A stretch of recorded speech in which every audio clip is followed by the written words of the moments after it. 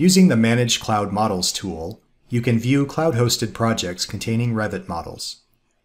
In Revit, navigate to Collaborate, Manage Models, Manage Cloud Models, and select a project.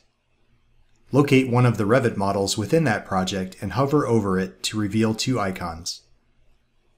The first of these indicates the publishing status of the Revit model. Latest version published indicates that the version of the file viewable in Autodesk Docs matches the live Revit model. However, if you see the option to publish latest, you may click the icon to publish the latest changes to the cloud. To the right of the publishing status is an Actions pull-down menu with two functions, Relinquish and View Versions.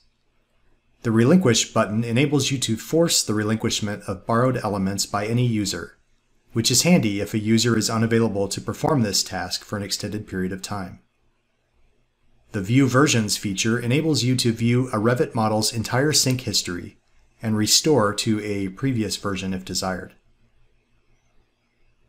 Using the Sync Activity indicator in the status bar, you can view the current status of the cloud-hosted central file. Depending on whether other users are synchronizing their changes, you will see Available for Sync or Synchronizing displayed here. You can also select this icon to open the Manage Cloud Models dialog.